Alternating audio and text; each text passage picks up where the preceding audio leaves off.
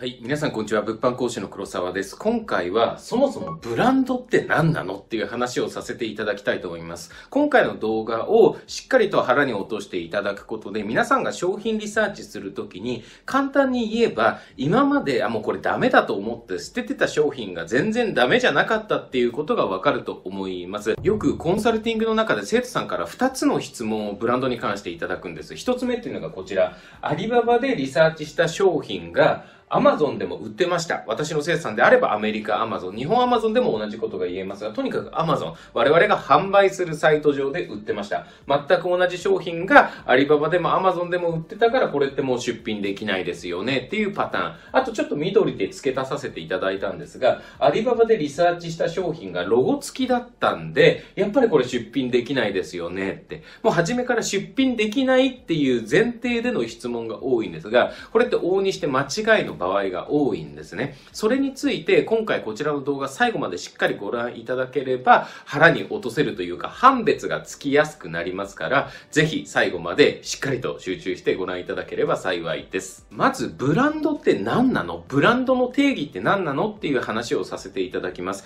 ただこれ定義も様々なんですね。理由は簡単で、ブランドに関係している商標登録というものがいろいろな種類があるからなんです。文字の商標だとか、俗に言うロゴこの商標だとか、あとは色味の商標だとか、いろんな種類があるんですが、今回は我々が商品を出すときも、ブランド戦略を進めていくときも、あと商品リサーチしていて、なんかロゴがくっついている商品に出会ったときも、一番関係しているのが文字商標なので、文字商標に話をギュッとまとめて、このまま続けさせていただきます。文字商標に限って言えば、ブランドの定義っていうのは、ブランド名足す商標登録。このタッグなんですね。自分たちでブランド名を決めました。それを各国の叱るべき組織、叱るべき機関に提出して、はい、OK っていうふうに認証をもらいました。承認されました。これでようやくブランドっていうものが確立できます。この各国っていうのがポイントで、例えば私日本で商標登録持ってますけど、そのブランド名っていうのはアメリカで効力があるのかっていうと全く効力がないんですね。あともう一つポイントがあるんですが、文字商標っていうのはあくまで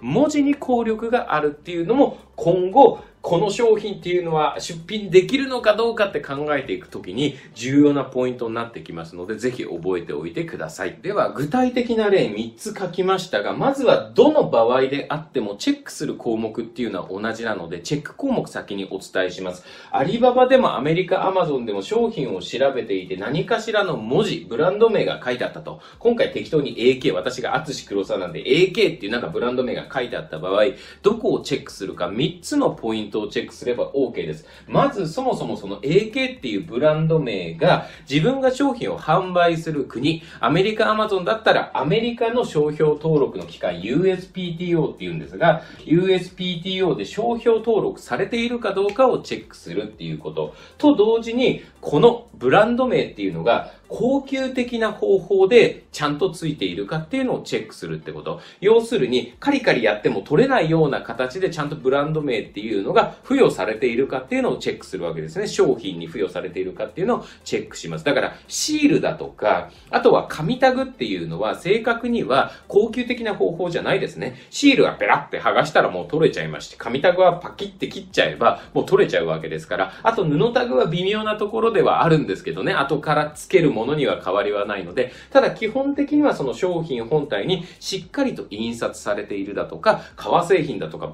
の場合は、ブランド名がしっかり刻印されているだとか、そういった高級性があるかどうか、高級的かどうかっていうのをチェックします。あともう一つ重要なポイント、結構皆さん見落としてるんですが、この USPTO の中で TESS という、要するに商標登録を調べるような電子システムっていうのがあるんですね。誰でも無料でチェックすることができます。そこで調べた際に、確かに AK っていうブランド名があった、うわもうダメだって思っちゃう方いるんですけれども、もう一つチェックするポイントがあります。それは、このカテゴリーなんですね。これ、商標登録的に言えば、類似群コードって言うんです。英語だとクラス、クラス何々とか言うんですが、この類似群コードっていうのとブランド名っていうのがタッグで商標登録っていうのが取れるものです。例えば、まあ、わかりやすく言えば、AK というブランド名で、カバンのカテゴリーで商標を取りますだとか、AK というブランド名で衣服のカテゴリーで商標を取りますだとか、このセットで初めてブランドの効力っていうのもあるるわけですね。ですから、実際 USPTO で調べたらあったと。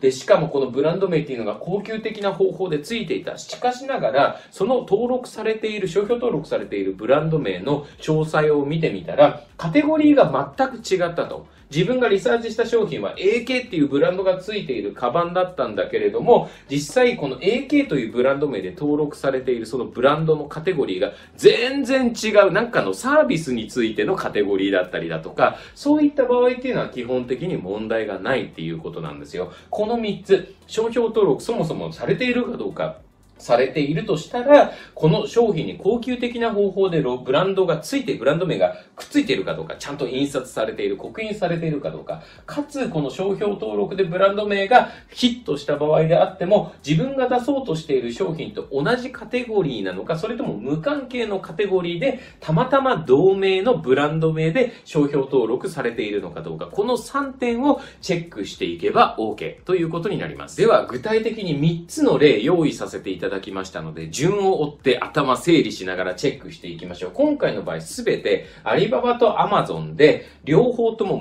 全く同じ商品があったんだけどっていう前提の話です。まず1例目。アリババの方で AK というブランド名がガツッと刻印されていた。しかしながら Amazon では、その AK というブランド名が付与されていない、刻印されていない、印刷されていない同商品が売っているだけだった。この場合どういうふうにチェックするか。チェック項目的には同じなので、この3つだけなので、それに沿って見ていけばいいわけですね。自分が買い付けようと思っている商品っていうのが、販売しようと思っている国、アメリカ Amazon だったら USPTO 上でブランド登録されているか、商標登録されているかっていうのをチェックするわけです。で、かつ、このロゴっていうのが高級的についているかどうかもチェックする。で、このカテゴリーっていうのも、ちゃんと自分が出そうとしている商品とこのブランド名のカテゴリー、登録されているカテゴリーっていうのが商標登録されていた場合、一致しているかどうかっていうのもチェックする。っていう形になります。ですから、同じ商品が Amazon で売ってたからもこの商品は出せないっていうことは全くないんですよね。その点っていうのはご理解いただただければ、このリサーチした商品が Amazon で売ってたから出品できないですよねっていうのは、いや、全然そんなことはそうとは限りませんよっていう点ご理解ください。二つ目の例です。今度はアリババの商品に関してはロゴも何にもついてませんでした。でも、アマゾンの方ではちゃんとロゴがついて売ってました。このパターンの場合はどうなのかっていうとですね、ちょっと視点が変わるんですよ。そもそもこちら先ほど話したんですが、文字商標っていうのは文字に効力があるだけで、その文字っていうのが商品に高級的な方法でベタってついていなければ、その商品自体っていう商品本体っていうのは全く守られていないんですね。ですから、そもそも AK っていうここが、ロゴがついていて、商標を取っていたとしても、別にこっちロゴがついてないんだから出すのは全く問題ないっていうことが言えるわけです。ただし、例えばこのアメリカアマゾンで売っている商品にレビューが1000とかついてたとするじゃないですか。で、1000レビューついてるってことは、まあ、よほど売れてるってことなんですけど、ここまでなっている場合、まあ、1000じゃなくても何百とかレビューがついている場合って、もしかしたらこの AK っていうブランドがよほどしっかりしたブランドで、商品のデザインとかも、まあ、衣装券って書きましたけど、これ後で話しますけど、詳しくは。この商品のデザインっていうのも、この AK というブランドが企画している可能性があるわけですね。だから、衣装権を調べていく。衣装権って英語で言うとパテントって言うんですが、パテントを調べていく必要があるんですが、そのパテントを調べるのってごっつ難しいんですよ。なかなかうまくできるもんじゃない。だから、そこコンサルティングの場合は一緒に調べていって、ようやくわかるような話なんですが、この AK というアメリカアマゾンで商品を出しているブランドのこの商品ページがどれもレビューがめちゃめちゃ多くって、まあ、シャネルとかグッチほどは有名じゃないけれども、それなりに確立されたブランドの場合はですね、この商品のデザインっていうのが、法律に絡んでる場合があるんですよ。だからそこはね、ちょっと気をつける必要があるし、そこの判別っていうのは結構難しいっていうことだけはご理解ください。とにかくこの商品自体っていうのは、文字商標を取っている場合は別に何も保護してないですから、この商品と同じものが売っているってだけで、しかも AK っていうブランド名が付いていたとしても、この AK っていうブランド名が文字商標でしか取られていない場合であれば、全く問題なく出すことができます。ただね、先ほど申し上げた通り、判別が難しい、いろいろなことを総合的に、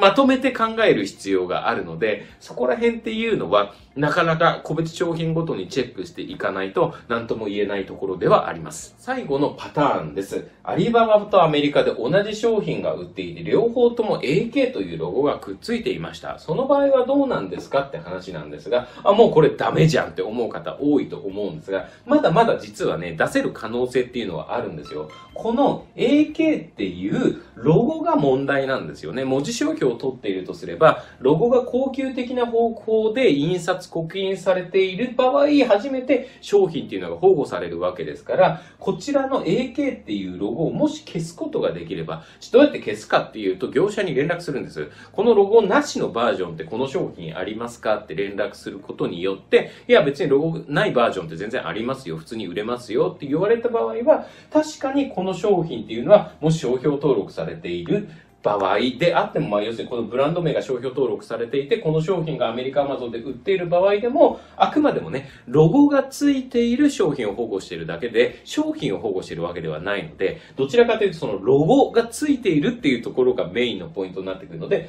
ロゴを取り除けるのであれば、まだまだ出せる可能性もあるっていうことです。今回の動画、もしよろしければ高評価、並びにコメント、チャンネル登録、で、ぜひぜひお願いします。コメント欄の方に書いていただいた内容っていうのは全部拝見していて、まあ、全員にお答えできるとは限らないんですけれども、疑問が多かったことに関しては優先的に動画で話させていただきますので、ぜひぜひお気軽にコメント書いてください。最後までご清聴ありがとうございます。では、失礼いたします。